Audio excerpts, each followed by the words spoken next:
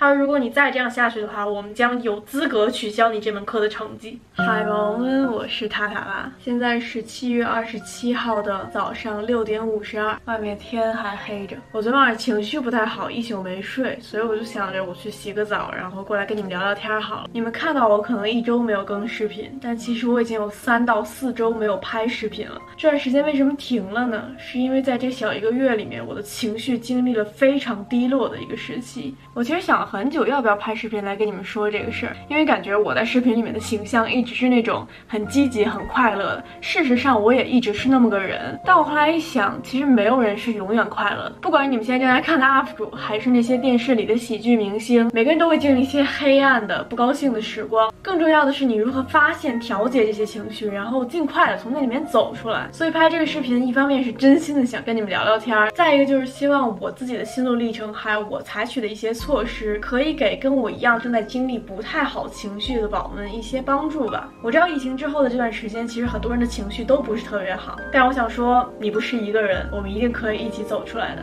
先来说说我这三个星期怎么了？其实也没有什么特别的事儿，只是感觉很长一段时间以来压力都特别大，在这三个星期爆发了而已。如果你们看我之前的视频，应该会知道我二月份在国内疫情最严重那段时间，为了能赶上国外按时开学，千里迢迢的跑到澳洲来。但是到澳洲正常上了两个星期课之后，澳洲的疫情又爆发了，所有的课、所有大学都停了。所以其实从一月底到现在这七个月以来，我基本上没有出过家门。我不知道你们疫情期间有没有这种感觉啊？就是你一直在家里憋着，就变得越来越自闭，越来越自闭，然后就非常容易沉浸在自己的情绪里面，好像你自己。的世界被无限放大了，所以你的焦虑就越来越强烈，而且没有办法控制。除了这个之外，还有一个很致命的原因，就是一月份我从北京来到澳洲的时候，北京是冬天。等到了澳洲之后，因为南半球的季节是反的，所以我现在还在经历冬天。而且澳洲的冬天是那种会刮风下雨、天气昏暗的冬天，就让你觉得啊，人生没有希望了。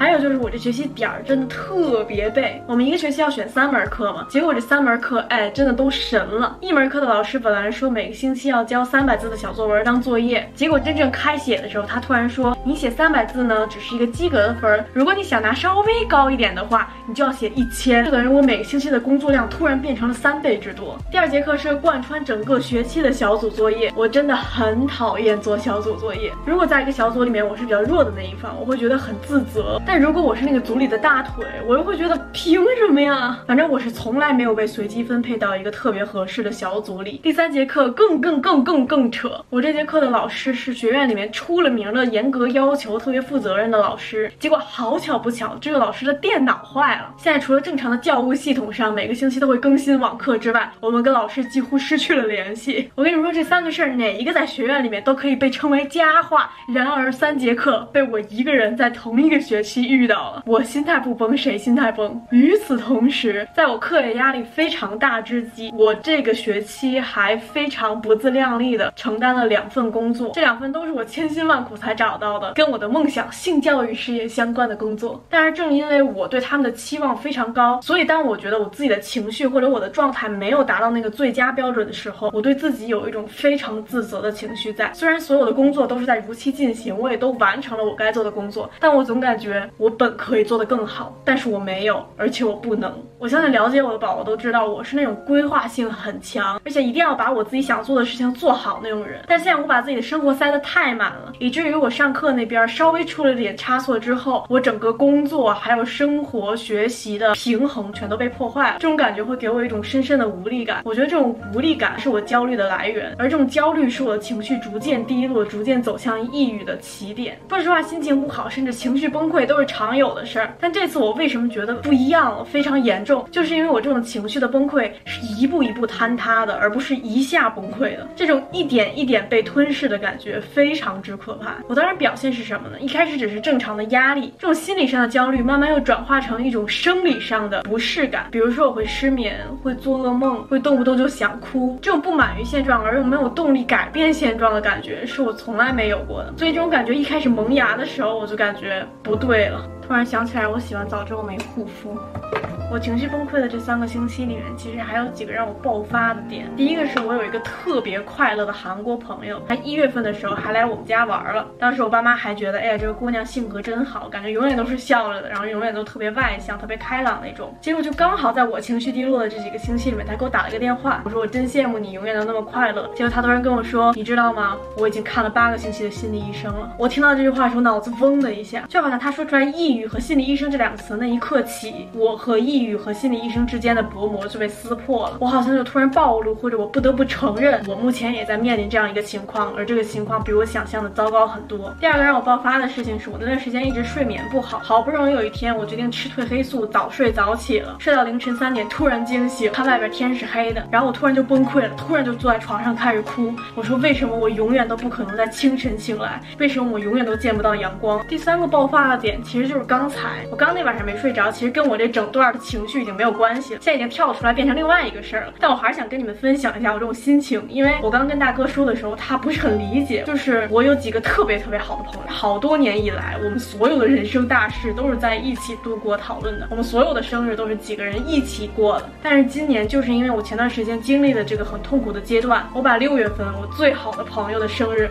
给忘了，过了快两个月了，我突然想起来，糟了，我没祝他生日快乐。这事儿我跟大哥说的时候，大哥就觉得，嗨，忘个生日嘛，他也不会在乎的，你们俩关系那么好。但重点在于，我觉得他在不在乎是他的事儿，但是我作为最好的朋友，没有去祝他，我真不是个东西。OK，讲完了悲伤的一部分之后，终于可以进入到我当时是怎么调节我这种情绪的。我当时真的有一种很明确的感觉，就是如果我再这样下去两个星期，我绝对就会有抑郁症的症状。这事我觉得我还得提一嘴，就是抑郁。是一种情绪，而抑郁症是一种疾病。如果你长期的处于这种抑郁的情绪中，你才有可能转变为抑郁症。所以我觉得大家一方面是不要太快给自己下诊断，不要觉得我稍微有点低落，我一定就是抑郁症了。这种心理暗示其实会给自己造成不好的影响。但另一方面，如果你真的长期在一种很不好的情绪里面，也不要太过于轻视它。OK，那继续来说，当时我是怎么做的？首先，我非常快的就嗅出了我这种抑郁的情绪。如果先让我来总结我的抑郁的情绪和平时那种压力和焦虑有什么不一样？的话，平时的感觉是，哎呀，我怎么干不完这个啦？我要考试啦，我怎么还不会啊？是一种很着急，但是又想做好、想做出改变的状态。但那种抑郁的情绪是，外面是黑暗的，我的心也是黑暗的，我什么都做不了，或一种特别消极的恶性循环的感觉。如果大家经历过同样的感受，也可以在这儿分享。我就把我们的感受分享出来，当别人遇到跟我们同样的情况的时候，他就能比较快的做出反应。在我识别出了我的不良情绪之后，我干的第一件事是跟大哥说，对不起，大哥，我最近可能。要发脾气了。事实证明，我这样的预警非常管用。当大哥察觉出来我有什么情绪不对的时候，他会立刻停下手中的工作，然后过来安慰我、开导我，或者跟我聊聊天儿。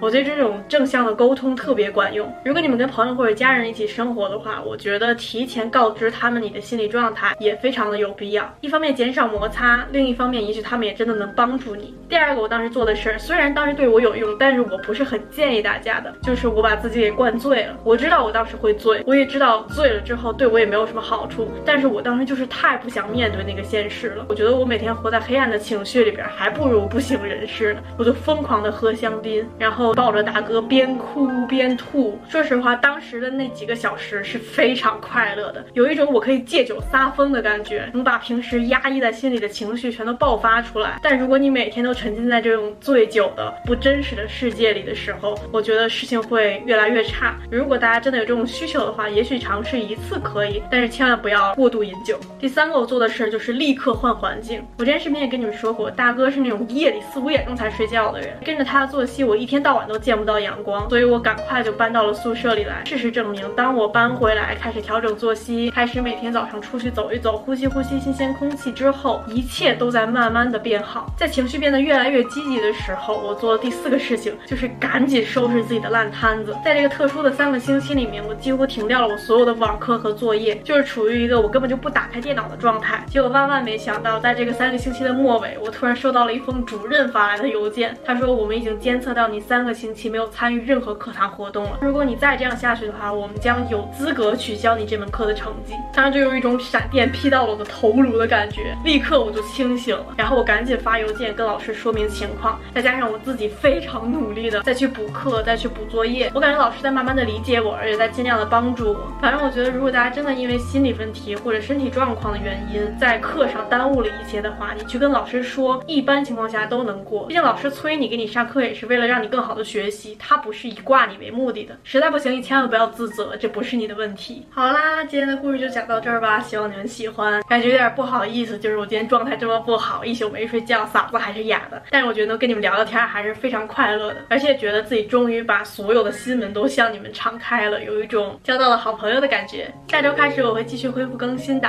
感谢你们等我，我是塔拉，我爱你们。